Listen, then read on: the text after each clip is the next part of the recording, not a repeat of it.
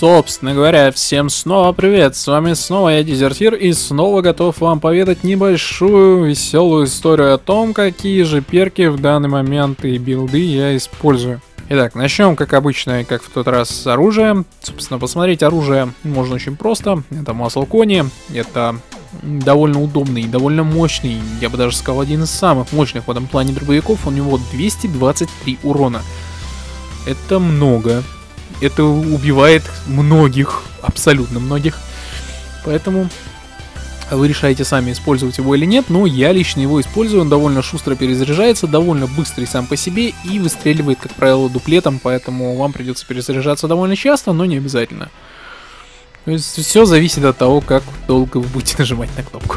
Ладно, на самом деле это не имеет значения. Дальше я беру либо локомотив, либо, если мне нужно отбиваться такие от щитов и прочих, я беру все-таки судью.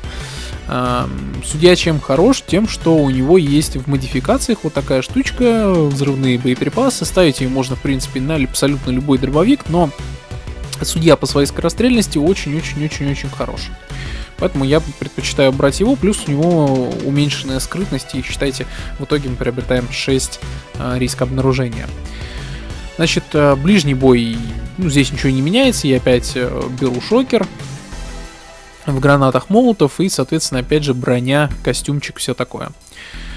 А, что касается навыков, вот тут нам немножко придется поработать, пообщаться. Что важно для, буглец... для беглеца, простите. Для беглеца важно очень просто все, самое главное это выносливость. Благодаря выносливости мы можем быстрее бегать. Поэтому качаем ее в первую очередь. Во всех ветках. Как, где только можем, там ее и качаем. Далее. А, в моем билде я сделал build под дробовики. Соответственно, я ношу с собой только дробовики. Итак, поехали. А, в штурмовике мы первым делом, естественно, качаем транспортер. Полезный skill, удобный, все хорошо.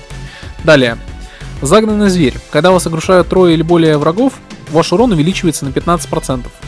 Это нам поможет наносить больше урон, потому что очень часто, очень часто бывает там, когда на вас выходит два щита, тазер или еще какая-нибудь э, скопа людей, да, то есть и всегда будет больше трех. Очень часто, по крайней мере, если не всегда, то очень часто. Э, как только мы, грубо говоря, будем получать урон, Точнее, нет, стоп. как, как только мы будем видеть э, толпу людей, мы в нее, конечно, не кидаемся, но они должны быть где-то рядом с вами. У вас будет работать этот перк. Далее.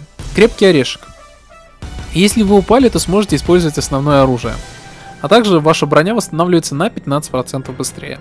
Здесь это берется ради брони. Ну и также, в принципе, основное оружие тоже полезно использовать. Следующий скилл очень важен, так как он идет в билде с дробовиками, это удар дробью. Повышает стабильность при стрельбе из дробовиков, но берется ради вы наносите на 35% больше урона при стрельбе из дробовиков.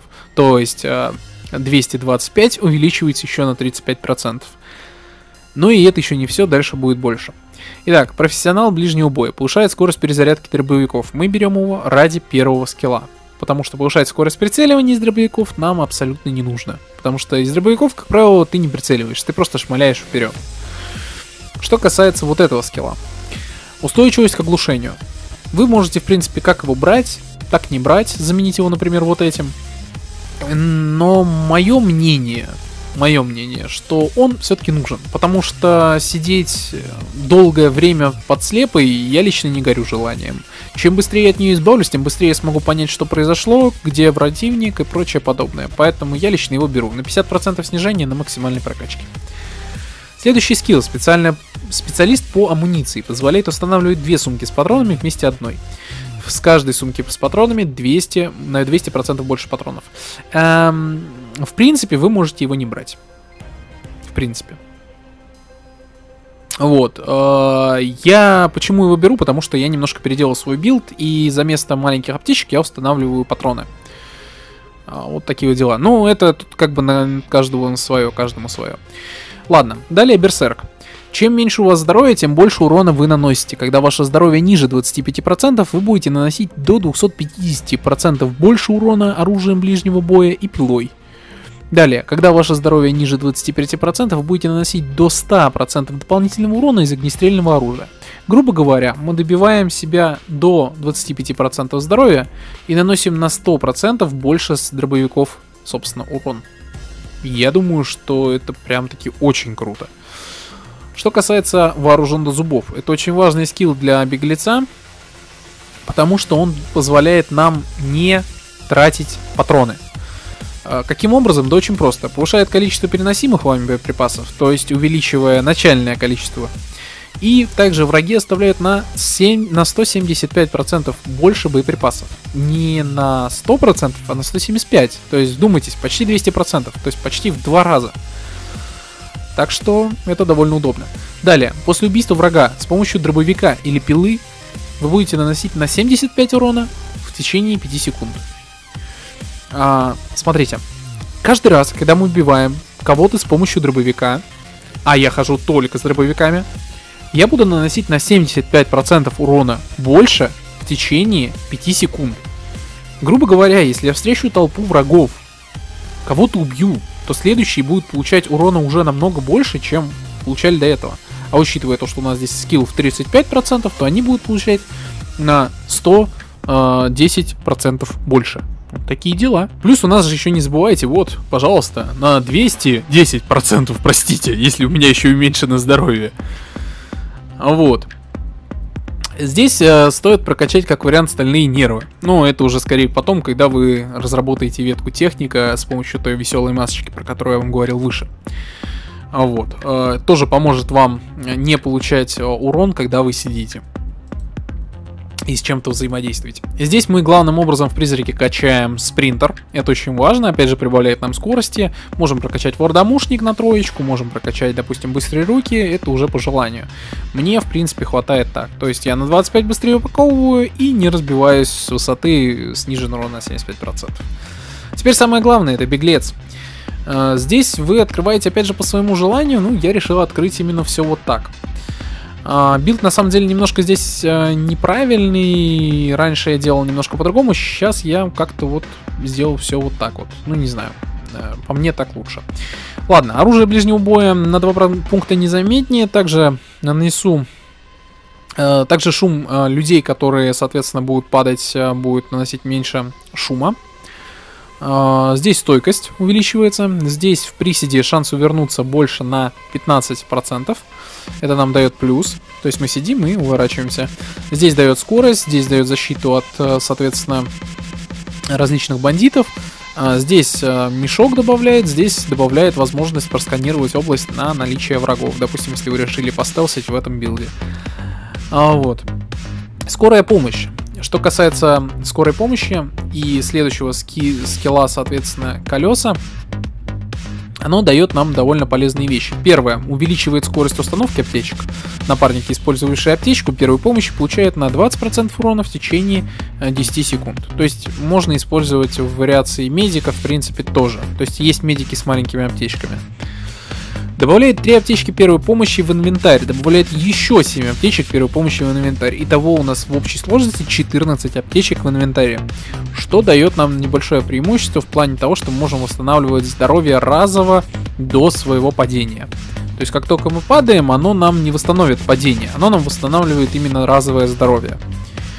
А, запомните, это очень важно. Многие игроки, к сожалению, сейчас считают, что эти аптечки восстанавливают нам падение. Нет, они их не восстанавливают. Восстанавливают падение только большие аптечки у медиков в манипуляторе, вот эти вот.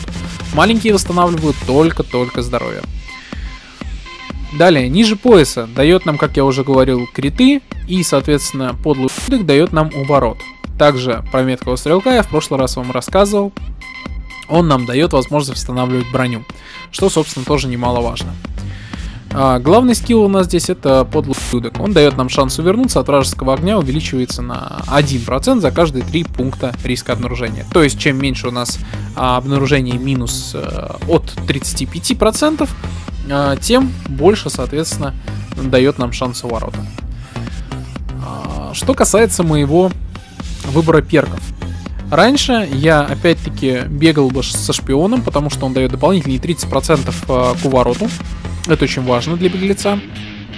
Но сейчас я немножко перебазировался и не пользуюсь, например, маленькими аптечками, а, бегая чисто в нападающем, восстанавливая а, здоровье за счет эйфории, потому что с помощью сокола, введенного а, вот этого линейки перков, мы сможем восстанавливать здоровье по 5 единиц здоровья 8 раз за 4 секунды.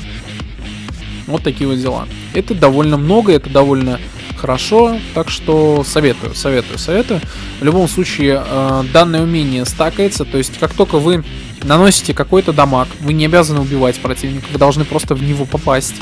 А с дробовиков это проще некуда сделать, особенно с судьи, у которого разрывные патроны. Поэтому вы наносите дамаг кому-либо, после чего восстанавливаетесь, и, соответственно, это дает вам возможность спокойно дальше ходить. А, кстати, я забыл в прошлом видео упомянуть одну маленькую вещь.